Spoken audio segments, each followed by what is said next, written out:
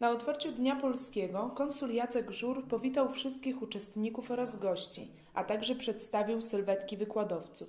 Dyskusję z młodzieżą rozpoczął Krzysztof Grzelczyk, działacz opozycji od lat 70.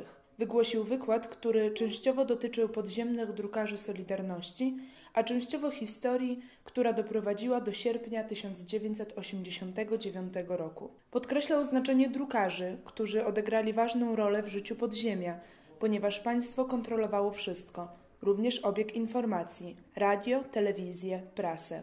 Jacek Pawłowicz z Instytutu Pamięci Narodowej rozmawiał z uczestnikami Arki na temat podziemnych sposobów wydawania ulotek. Młodzież wspólnymi siłami wykonała na zwykłej foliowej torebce matrycę symbolu Solidarności Walczącej, a następnie wydrukowała na kartce A4 osiem takich ulotek. Uczestnikom Arki została również zademonstrowana cała procedura rozprowadzania ulotek po mieście.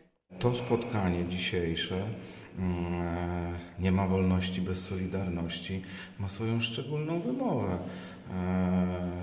25 e, lat minęło od momentu, kiedy Polska wybiła się na niepodległość. I znaleźliśmy się w miejscu, kiedy niepodległość wszystkich państw bloku wschodniego, które oswobodziły się spod jarzma rosyjskiego, jest zagrożona ponownie przez imperialną politykę Władimira Putina. E, dlatego ta, ta arka jest tak szczególnie ważna, żeby mm, dać sygnał młodym e, Ukraińcom, że e, wolny świat, że Polacy szczególnie są z nimi.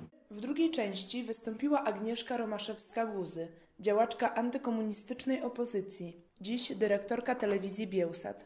Opowiedziała o działalności polskiej telewizji, która nadaje w języku białoruskim, by wesprzeć białoruską opozycję. Następnie Jarosław Guzy opowiedział o niezależnym zrzeszeniu studentów i jego roli w procesie zdobywania niepodległości Polski. Młodzież, którą spotkałem na Arce e, tutaj w Bolszewicach, e, to jest młodzież, która pod wieloma względami przypomina, przy całych różnicach, które są, przypomina nasze przeżycia sprzed wielu już lat E, bo to jest młodzież, która mm, ma swoją szansę. E, po pierwsze, oni ich rówieśnicy no, spowodowali zasadniczą zmianę na Ukrainie. Jednak dokonali rewolucji, niezależnie od tego, że rewolucja popadła w inne kłopoty, które wynikały z przyczyn zewnętrznych. E, ale to było takie wielkie osiągnięcie, bo dla mnie Majdan i, i to, co się działo, to była taka ukraińska solidarność.